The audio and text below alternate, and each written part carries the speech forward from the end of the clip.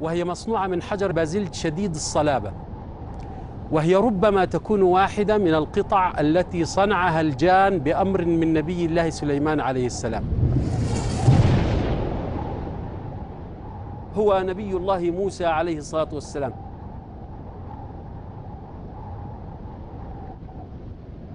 الدجال الآن موجود ولكنه ليس بأعور.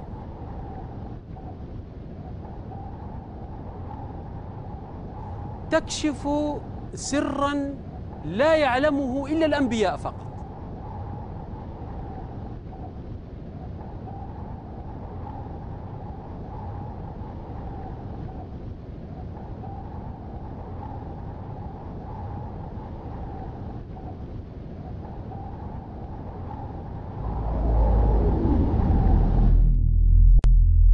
بسم الله الرحمن الرحيم. الحمد لله رب العالمين. والصلاة والسلام على سيدنا محمد وعلى آله وصحبه الغر الميامين. مرة أخرى أتحدث لحضراتكم عن النقش العجيب اللوحة الأثرية المعروفة باسم لوحة موسى عليه السلام والمسيح الدجال السامري.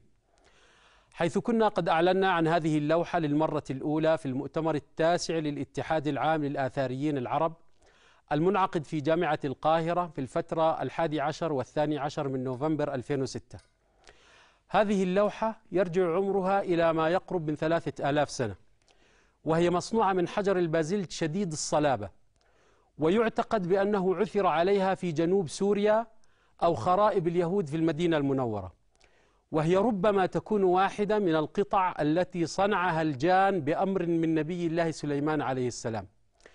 حيث أن الوقائع التي تعبر عنها اللوحة من خلال الصورة لا يدركها إلا نبي يوحى إليه قال الله تبارك وتعالى بعد أعوذ بالله من الشيطان الرجيم يعملون له ما يشاء من محاريب وتماثيل وجفان كالجواب وقدور الراسيات.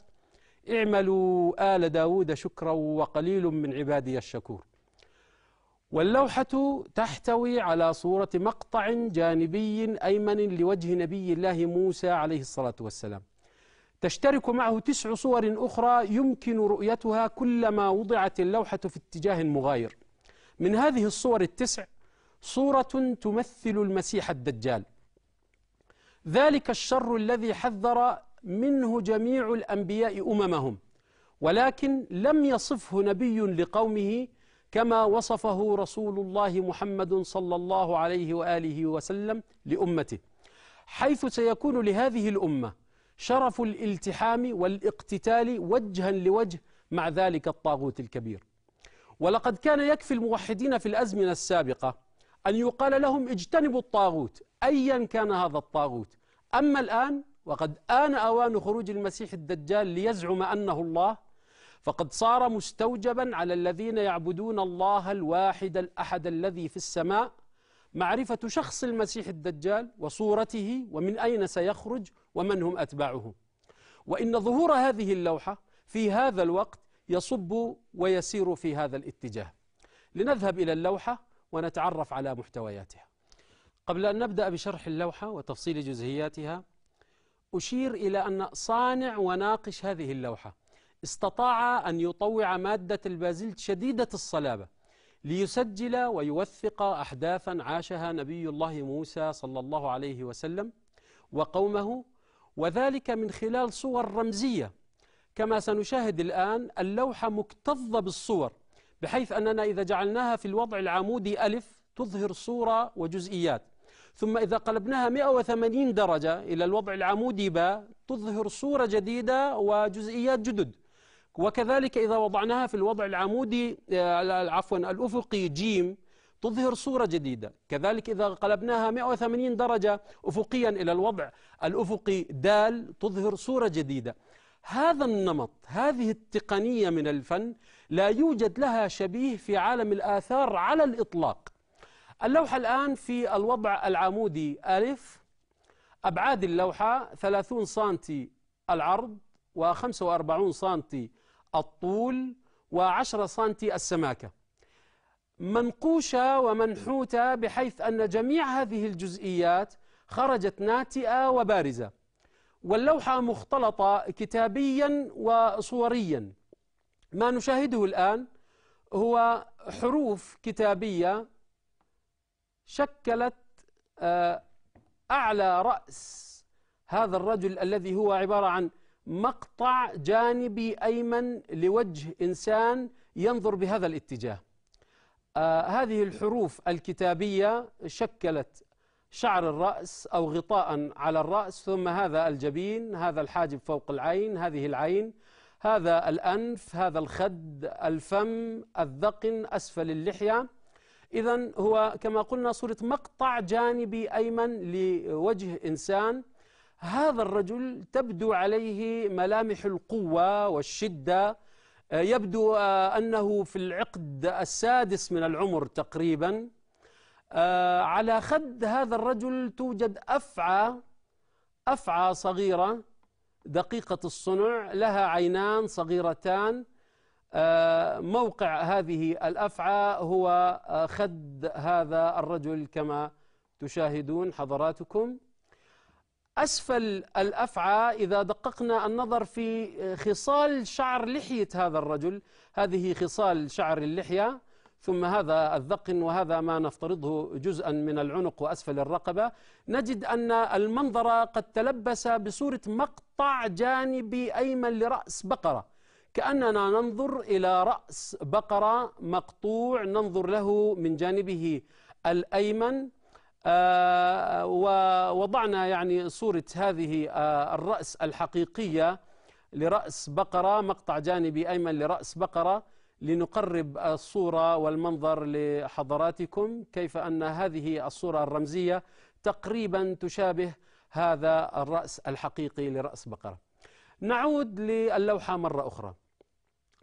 أقول بأن صاحب هذا الوجه وصاحب هذه الرأس هو نبي الله موسى عليه الصلاة والسلام وذلك للأسباب التالية. أولا يبدو في هذه كما قلنا في في في الصورة يبدو الرجل أنه قوي شديد آه، أقرب إلى الخشونة منه إلى النعومة.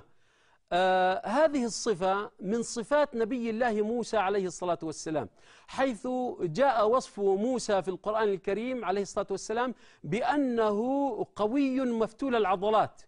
آه الحادثة التي حدثت آه، في آه، زمن موسى عليه الصلاة والسلام عندما آه، تعارك رجل من بني إسرائيل وواحد من الفراعنة أو من قوم فرعون تدخل موسى لصالح الإسرائيلي فبمجرد أن وكز الفرعوني قضى عليه بضربة واحدة قتل ذلك الفرعوني أعوذ بالله آه، بعد أعوذ بالله من الشيطان الرجيم قال الله تبارك وتعالى بعد أعوذ بالله من الشيطان الرجيم ودخل المدينة على حين غفلة من أهلها فوجد فيها رجلين يقتتلان. هذا من شيعته وهذا من عدوه. فاستغاثه الذي من شيعته على الذي من عدوه فوكزه موسى فقضى عليه. بمجرد أن وكز ذلك الرجل قتله. الشاهد الآخر على قوة موسى عليه الصلاة والسلام الجسدية أنه عندما رفع غطاء البئر القصة المشهورة والمعروفة في القرآن الكريم عندما سقى للبنتين آه، غنمهما جاء إلى غطاء البئر فرفعه بمفرده. وكان يلزم ذلك الغطاء عصبة من الرجال أو مجموعة من الرجال لينزعوا, لينزعوا ذلك الغطاء. آه، لهذا قالت ابنة آه، آه، إحدى البنتين وعلى الأغلب أنهما بنتي شعيب عليه الصلاة والسلام. قالت إحداهما لأبيها يا أبت استأجره إن خير من استأجرت القوي الأمين. هذا كذلك شاهد من القرآن الكريم على قوة موسى عليه الصلاة والسلام الجسدية. في أحاديث النبي صلى الله عليه وآله وسلم آه، في الإسراء والمعراج آه، عندما آه، أسري به رأى نبي الله موسى عليه الصلاة والسلام. فجاء يعني قول النبي صلى الله عليه وآله وسلم قال رأيت موسى فإذا هو رجل ضرب رجل كأنه من رجال شنوءة رجل فإذا هو رجل ضرب الضرب هو مفتول العضلات من غير سمنة. ليس في جسده دهون وسمنة الانتفاخ ولكنها عضلات مفتولة. هذا هو الضرب. رجل آه، الرجل هو مسترسل الشعر وهو عكس آه، الجعد. آه، كأنه من رجال شنوءة. هذه آه، شنوءة كانت قبيلة في اليمن وكان يمتاز أهل شنوءة أو رجال شنوءة بطول القامة. وعبوس الوجه كانوا أشداء. فشبه النبي صلى الله عليه وسلم موسى عليه السلام بهؤلاء القوم قال كأنه من رجال شنوءة. نلاحظ وتلاحظون كم أن هذا الرجل يبدو عليه ملامح القوة والشدة وكذلك آه، عدم النعومة وربما آه، آه، العبوس كذلك أو الحزن. هذه واحدة. الثانية أن قصة موسى عليه الصلاة والسلام مع الأفعى. النبي الوحيد الذي كانت من معجزاته عليه الصلاة والسلام الأفعى هو نبي الله موسى عليه الصلاة والسلام. وقد تحولت عصا موسى إلى أفعى في أكثر من موضع وجاء ذكرها في القرآن الكريم قول الله تبارك وتعالى فألقى عصاه فإذا هي ثعبان مبين وهذه كذلك قرينة تدل على أن صاحب هذه المو... الصورة هو نبي الله موسى عليه الصلاة والسلام. آه، شيء آخر آه، آه، البقرة المذبوحة قصة البقرة المذبوحة جاءت في القرآن الكريم كذلك وأطول سورة في القرآن الكريم هي سورة البقرة. والقصة جاءت في القرآن الكريم على أن الله عز وجل أمر موسى عليه الصلاة والسلام أن يأمر بني إسرائيل بأن يذبحوا بقرة. ليتم بهذه العملية كشف جريمة قتل حدثت في زمن موسى عليه الصلاة والسلام. وبالفعل هذا ما حدث وإذ قال موسى لقومه يا قوم إن الله يأمركم أن تذبحوا بقرة. فهذا الرأس الذي صنعه الناقش صانع هذه اللوحة صنع هذا الرأس في هذه اللوحة وأظهر العظمتين هاتان هما العظمتين اللتين تكونان في الحلقوم عند قطع رؤوس الأنعام. عندما نقطع رأس أي آه، شيء من الأنعام تكونان هاتان آه، العظمتان بارزتان وقد أظهرهما الناقش ليدلل على أن هذا رأس بقرة مقطوع. قرينة أخرى على أن صاحب هذه اللوحة هو نبي الله موسى عليه الصلاة والسلام. الحروف الكتابية هذه الحروف الكتابية استطاع أستاذ اللغات القديمة الأستاذ البروفيسور الدكتور يحيى عبابنا أستاذ اللغويات القديمة واللهجات القديمة أن يخرج ثماني قراءات لهذه الحروف. وهذه الحروف هي حروف ثمودية. أقوى هذه الثماني قراءات التي تدل على أن صاحب أو تكون قرينة على أن صاحب هذه الصورة هو نبي الله موسى عليه الصلاة والسلام قراءة تقول بأن صاحب هذه الصورة عالم حاذق في لسانه ثقل. العالم الحاذق الذي في لسانه ثقل واللفظ بالثمودية هو طبن لهع. طبن لهع أي العالم الحاذق الذي في لسانه ثقل. آه هذه قرينة كذلك تدل على أن صاحب هذه الصورة هو نبي الله موسى عليه الصلاة والسلام حيث آه كان عليه الصلاة والسلام في لسانه لثغة. وقال الله عز وجل على لسان موسى عليه الصلاة والسلام قال رب اشرح لي صدري ويسر لي أمري واحلل عقدة من لساني يفقه قولي. وفي موضع آخر وأخي هارون هو أفصح مني لسانا فأرسله معي رد أن يصدقني. وفي موضع آخر كذلك قول فرعون عليه لعنة الله قال أم أنا خير من هذا الذي هو مهين ولا يكاد يبين؟ أي لا يستطيع أن يفسر أو يبين آه، كلامه. آه، هذه القرائن آه، تدل بقوة على أن صاحب هذه الصورة هو نبي الله موسى عليه الصلاة والسلام. القصة لم تنتهي بعد. هناك قرائن أخرى تدل على أن صاحب هذه الصورة هو نبي الله موسى صلى الله عليه وسلم. آه، سنذهب الآن إلى اللوحة في الوضع باء يعني سنقوم بقلب اللوحة 180 درجة ثم آه، نتعرف على بقية قصة هذه اللوحة العجيبة. لنذهب إلى اللوحة في الوضع باء.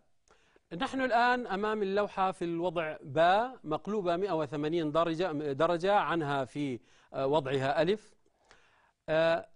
أشير كذلك إلى أن اللوحة في هذا الوضع باء تكشف سرا لا يعلمه إلا الأنبياء فقط. سر لا يعلمه إلا الأنبياء فقط بمعنى أن الأمم السابقة أتباع الأنبياء من الأمم السابقة لا يعلمون هذا السر. السر يتمثل في أن الصورة واللوحة في وضعها باء تظهر صورة المسيح الدجال أعورا بنفس النعوت التي وصفه بها نبينا محمد صلى الله عليه وآله وسلم. هذا هذا الأمر أن الدجال أعور لا يعلمه أتباع الأنبياء السابقين من الأمم السابقة لا يعلمون هذا السر فقط الأنبياء يعلمون ذلك حيث قال صلى الله عليه وآله وسلم ولكني سأقول لكم فيه قولا لم يقله نبي لقومه. ليس لم يعلمه نبي لم يقل لأنه يعلم لم يقله. هو يعلم ولكن لم يقل لم يخبر أمم لم يخبروا أممهم. لم يقله نبي لقومه إنه أعور وإن ربكم ليس بأعور. إذا ناقش هذا هذه اللوحة صانع هذه اللوحة. لا بد إلا وأن يكون قد استقى هذه المعلومات من نبي. النبي الوحيد الذي كان مهتما باللوحات وبالتماثيل وبالنحت هو نبي الله سليمان عليه السلام. فأقول بأن ناقش هذه اللوحة استقى هذه المعلومات من نبي الله سليمان عليه السلام. وظاهر الآية يقول يعملون له ما يشاء هو الذي يشاء حسب إرادته حسب ما يشتهي. يعملون له ما يشاء من محاريب وتماثيل. وكأن المعلومات تستقى منه وبأمره هو يصنعون له بالكيفية الذي يريد وبالطريقة الذي هو يرغب بأن تكون فيها تلك التماثيل أو اللوحات. لماذا يعني آه، الأمم السابقة لم يعلموا معلومة أن الدجال أعور؟ لأن هذه المعلومة لا تفيدهم. الدجال لن يصيبه لن يصيبه العور. إلا عندما يزعم أنه الله. فقط الدجال الآن موجود ولكنه ليس بأعور. ذكر النبي صلى الله عليه وآله وسلم الدجال أنه يجيء من قبل المشرق. قال فيدعو لي للدين لدين النبي صلى الله عليه وسلم. يكون على شكل عالم من علماء المسلمين. يدعو للنبي صلى الله عليه وسلم ولدين النبي صلى الله عليه وسلم. قال فيجب ويطع على ذلك حتى يقدم الكوفة أو يأتي الكوفة.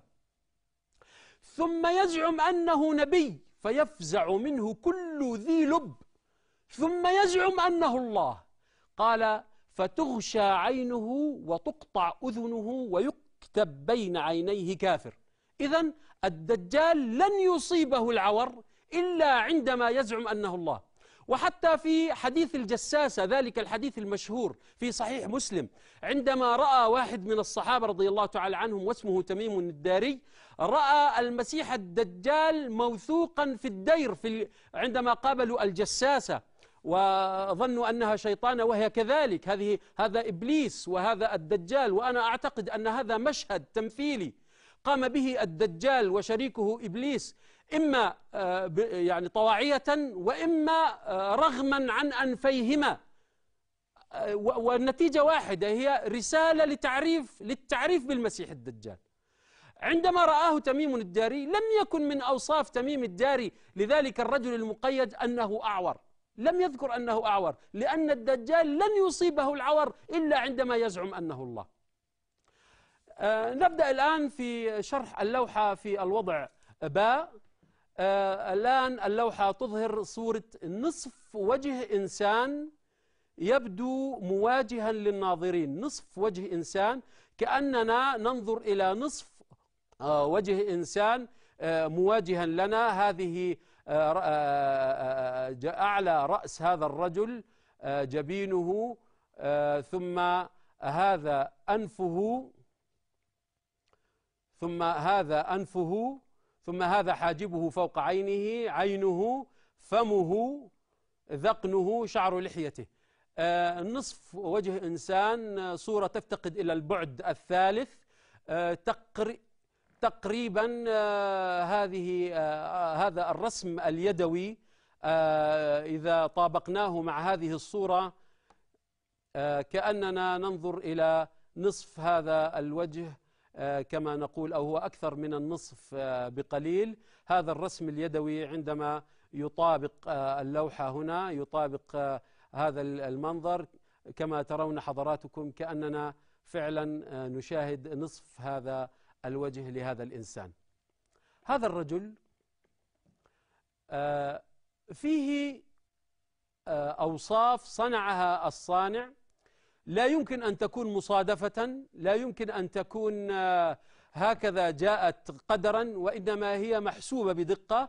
أوصاف تطابق أوصاف المسيح الدجال التي وصفه ونعته بها سيدنا محمد صلى الله عليه وآله وسلم. ذكر النبي صلى الله عليه وآله وسلم في أحاديثه بأن الدجال شاب قطط. نلاحظ يعني تقريبا أن هذا الرجل أن هذا الوجه لرجل يبدو في العقد الرابع من العمر شاب كأنه شاب آه، في العقد الرابع من العمر. ثم جاء من أوصاف النبي صلى الله عليه وآله وسلم عن الدجال قال أعور عينه اليسرى. هذه العين هنا التي لم يصنعها الصانع لأننا نقول نصف وجه إنسان. بعينه اليمنى ظفرة غليظة. نلاحظ هنا هذه الظفرة الغليظة التي هي عبارة عن قطعة من الجلد أو اللحم تغشى عين هذا الرجل. أعور عينه اليسرى بعينه اليمنى ظفرة غليظة. ثم من أوصاف الدجال كذلك آه، مكتوب بين عينيه كافر. أقول بأن هذا الحاجب لهذه العين. ثم هذا الحاجب لهذه العين التي لم يصنعها الصانع هنا هذا النتوء الذي هو على الجبين جاء زيادة هنا أسقطته على قول النبي صلى الله عليه وآله وسلم مكتوب بين عينيه كافر. ولا ندري كيف ستكون تلك العلامة في جبين المسيح الدجال عندما يخرج. هذا النتوء جاء زيادة في جبين هذا الرجل. ثم من أوصاف الدجال كذلك آه، قول النبي صلى الله عليه وآله وسلم في وصف شعر الدجال قال شعر رأسه كأنه أغصان شجرة. نلاحظ هنا هذه الشعيرات التي تندفع بقوة إلى الأعلى كأنها أغصان شجرة. ثم من أوصاف الدجال كذلك أنه عريض النحر. نلاحظ هنا بأن هذه الرقبة خرجت وصنعها الصانع بهذا الكم الكبير من الضخامة. آه هذه الأوصاف آه يعززها شيء آخر. عندما كانت اللوحة في الوضع ألف كانت هذه الحروف الكتابية تقرأ على آه يعني آه أعلى رأس موسى عليه الصلاة والسلام على أنه عالم حاذق في لسانه ثقل. الآن قلبت اللوحة فلما قلبت اللوحة اختفى آه، ظهرت صورة جديدة وخرجت قراءة جديدة كما يقول البروفيسور الدكتور يحيى عبابنا أستاذ اللغات القديمة. أصبحت الآن الحروف هذه تقرأ على أنها جاهل نسب مجهول النسب هذا الرجل لا يعرف أبوه ولا يعرف أهله. وهذه كذلك آه، قرينة تدل على أن صاحب هذه الصورة هو المسيح الدجال. آه، هذه المعلومات كما قلنا لا تعلمها الأمم السابقة فقط الأنبياء يعلمون هذا. آه شيء آخر في اللوحة كذلك عجيب. عندما كانت اللوحة تظهر نبي الله موسى عليه الصلاة والسلام آه كانت آه، قد اشتركت مع صورة نبي الله موسى صورتان كانتا قد استعملتا واستخدمتا للخير. الأفعى كانت سبب لنصر موسى عليه الصلاة والسلام على آه، السحرة وفرعون. ورأس البقرة استعمل كذلك لكشف جريمة القتل كما جاء في القرآن الكريم.